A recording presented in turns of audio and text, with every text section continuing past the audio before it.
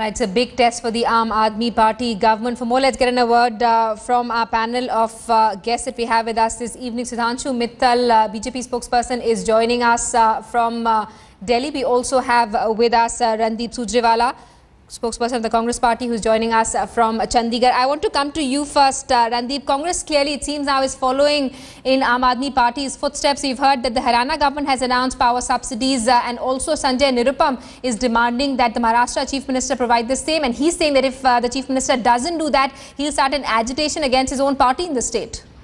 Uh, your audio is not very clear, but I want to just say one thing. The decision of government of Haryana to reduce its power tariff has nothing to do with decision of Aam Aadmi Party. Mr. Hooda's government has not reduced power tariff for the first time. In fact, on many other occasions, in last nine years of power, when AAP was not even in existence, government of Haryana has reduced power for the common man, for the farmer, for the downtrodden sections. Uh, Kwe Mr. Nirupam's viewpoint, it is his individual viewpoint. I don't think so party agrees with his viewpoint. Yes, every individual in the party has a right to put across his viewpoint to the chief minister or government. Mr. Nirupam has also done so in a rather aggressive fashion. I am sure chief minister will take appropriate note of it and uh, will uh, listen to Mr. Nirupam's point of view. All right, let's also get in a word uh, from Sudhanshu Mittal, who's joining us live from the national capital. Sudhanshu Mittal, it's going to be a crucial trust vote for the Aam Aadmi Party government. The BJP has vowed to play the role uh, of a constructive opposition. Will you give the Aam Aadmi Party government a chance? Considering how that they've managed to fulfill uh, two of their promises in five days' time. A, I must refute this uh, statement of yours that they've, they've fulfilled their two promises. I have just heard everybody saying that they've reduced the power tariff by 50%, which is a blatant lie. I do not understand how this lie is being getting perpetrated and nobody seems to be taking cognizance of it. Look, from 0 to 200 units, the current price is only 2 rupees 70 paisa and not 3 rupees 90 paisa as being claimed. There was already, Mrs. Sheila Dikshit on 26 July had already reduced the price to 2 rupees 75, 70 paisa and today it stands at 1 rupee 95 paisa. So the reduction is only 28%. Secondly, on the 200 to 400 slab, the price is not 5 rupee 80 paisa, it is uh, uh 580. It is actually 480 only. And at 480, the price now is 2 rupees 95 paisa. So there's a reduction of 38%. So saying there's a 50% reduction on the prices already is fallacious, it's wrong. And I would have expected the Chief Minister and his colleagues not to perpetrate this falsehood. Look, we are all eager to please the public, but let's not hoodwink the public.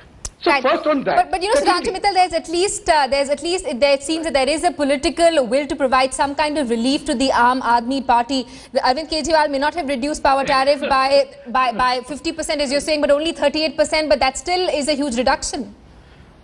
No, no, 20, 28% for the 0 to 200 and 38% for the 200 to 400. But what was the promise? The promise was a reduction of 50% across the board to everybody. And that was to be based on three elements, none of which have, has been addressed. One, that the companies are overcharging by fudging the accounts. So the fudging of the accounts would be stopped. Secondly, there is faulty meters all over and because of these faulty meters, there is an increase of the price. And third, there is lack of competition. So out of these three mal- malpractices which are to be checked, they will reduce the price by 50%.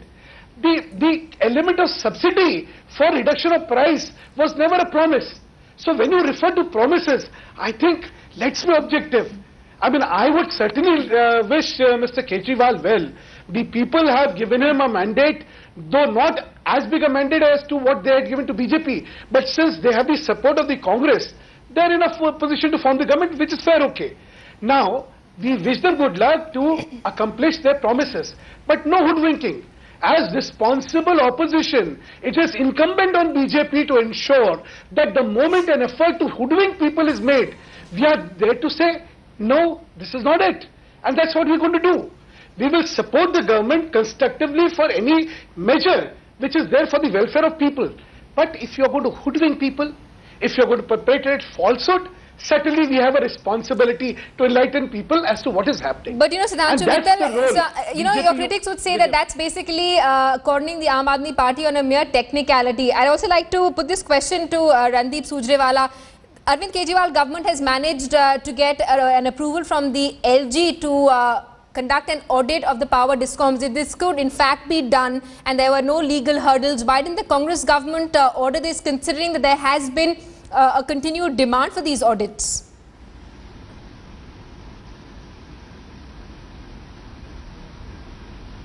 See, there are three issues. In fact, now the audio is a little more clear, but there seems to be, I'm seem to be having audio issues today.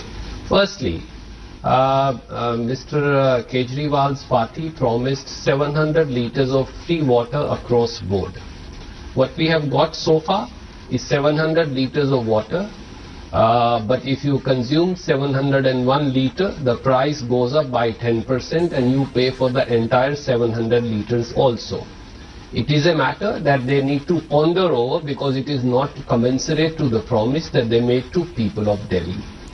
I also agree that Mrs. Sheila Dikshit's Congress government had reduced prices and uh, the tariff uh, decrease that you are stating of 50% is not 50%, even up to 400 units.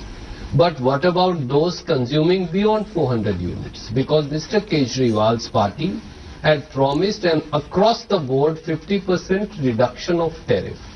Number three, you also mentioned about uh, an audit.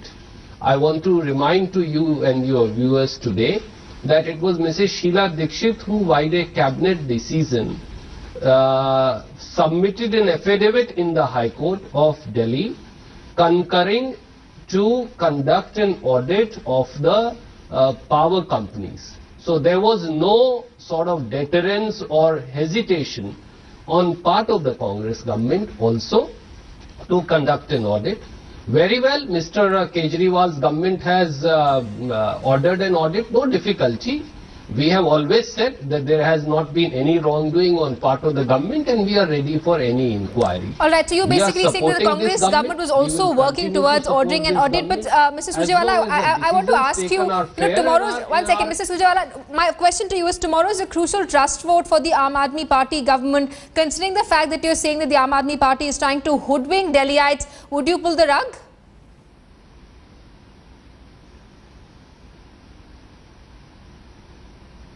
Sorry, say again please. I'm, I'm sorry today there's, there's something wrong with your audio. I just wanted to ask you, you know, you're saying that the Aam Aadmi Party is trying to uh, almost hoodwink Delhiites and they're not really fulfilling promises that they listed uh, in uh, their uh, in, in, in their uh, manifesto.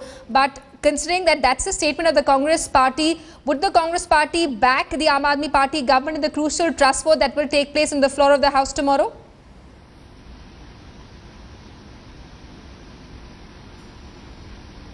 Simi, may I correct you? I did not use the word hoodwink. My friend from the Bharatiya Janata Party did. I only said that uh, the promise that Aam Aadmi Party made to people of Delhi in their manifesto has been only partially fulfilled. The benefit has not percolated or accrued in the manner that they said it would. However, Congress will support them because we have we have got the government formed in favor of people of Delhi and if decisions can be taken, corrected, further amended in days to come by Aam Aadmi Party in commensurate with what they promised to people of Delhi, we are ready to give them a chance. Why not? A government has been formed, people of Delhi deserve a government. We, unlike the Bharatiya Janata Party, are not ready to pull the rug or call people, uh, Aam Aadmi Party as hoodwinking the people of Delhi. No, I am only pointing out, and I partially agree with Sudhanshuji, no difficulty in admitting that, that they have to fulfill their promises in toto and not do so in part. But it's a start that they have done.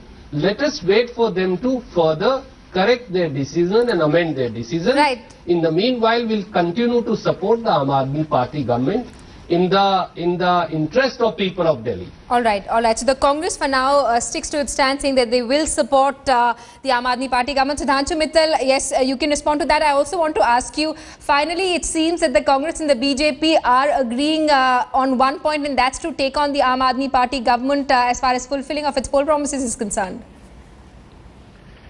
First, uh, I just want to correct Hudaji on something. He says his Gov- Sheila Dikshit government had given a affidavit to the High Court regarding the audit. If you will recollect, it was a demand of BJP that the audit of these electricity companies must be done. And we had promised, when we had promised the reduction of this thing. Today, isn't it ironical that the judicial impasse, as claimed by the Congress, is there where it is? Yet you have the Lieutenant Governor who represents the will of the central government in Delhi giving permission for the special audit. Now, if he could have given this permission to the Aam Aadmi Party government, I'm sure the same was available to the Congress. In fact, it was more available to the Congress. But there is where the catch is. You see, all along we've been maintaining that what is being done in Delhi by the electricity companies has been in connivance with the Sheila government. And they have been looting the government of Delhi, uh, the people of Delhi, by manipulating the accounts in connivance with the state government of uh, Delhi headed by Sheila Dikshit. But Sudhanshu Mittal, as far as addressing this problem was concerned, did the BJP even have anything in its manifesto as far as addressing this particular problem was concerned? you, you would be surprised. We were the ones who had detailed all this, what has subsequently been articulated by our Aam Aadmi Party. We had said first, we'll get the accounts audited. We had talked about the meters, 40 meters. We had talked about open competition. And we said, no, why just two companies? We will permit competition and people to choose their own electricity suppliers, which was provided in the Act for uh, privatization of electricity. So we had a whole plan laid out as to how we'll do it. And Right. we would do it according to what we had promised, not by subsidizing this. That was never what we had promised, and in fact, that's not what ever Aam Aadmi Party had also promised. You go through the manifesto, and it is clear for you. But I'm not addressing that issue. I'm addressing the issue that there was an unholy alliance between the electricity companies in Delhi and the Congress government. All right, all right, all right. Point And taken. Uh, demonstrated today itself. Randeep Surjewala, do you want to react to that? We just have a minute now. Yes. Sivi, very quickly, I want to point out to Sudhanshu ji, how many BJP governments, including the government in Gujarat, has got an audit of their electricity companies done? Has your government in government in Madhya Pradesh, government in Chhattisgarh, government in Gujarat, many other governments in Goa, etc. Have you ever got an audit done of your companies? Number two, I also want to point out to him that government of Delhi had nothing to hide. It was that's why our Chief Minister, Mrs. Sheila Dikshit, she submitted an affidavit in none less than the High Court of Delhi. If Mr. Sudhanshu Mittal doesn't accept the majesty of the High Court, it's a different issue. Agreeing to get an audit conducted. The matter was pending there. Right. In the meanwhile, elections were held. How And come the LG has now proof been given permission, sir? honesty and sincerity comes from the Randeep fact that how has the none LG now given All right, permission? all right. But Delhi, unfortunately if- for if- both of you, the BJP if- and the Congress, the Aam Aadmi Party has been able to trump uh, both of these parties and they've been able to score are on these go promises. They're also trying to fulfill their poll promises. I'm afraid we I've completely run out of time. Uh, Randeep Surjewala and Sudhanshu Mittal, thanks so much for taking our time, taking our time and uh, speaking to headlines today. Tomorrow is the crucial test for the Aam Aadmi Party government where they will have to prove their majority in on the floor of the House. We'll continue tracking developments.